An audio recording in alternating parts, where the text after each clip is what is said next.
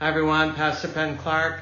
I'd like to make you aware of a, a book that we have available called uh, Come Aside.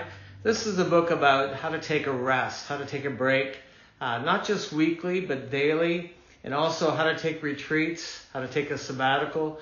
Uh, this is a powerful book that, uh, based on a revelation of the Lord, had shown me 40 some years ago when I first began to pastor, that has really shaped my life and, and has produced longevity and allowed me to stay quick and sharp.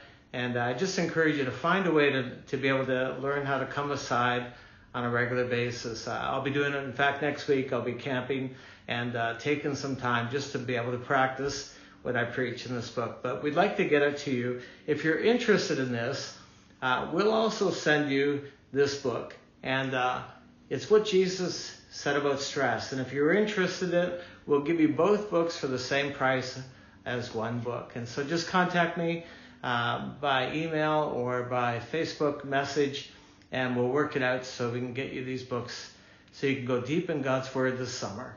God bless you.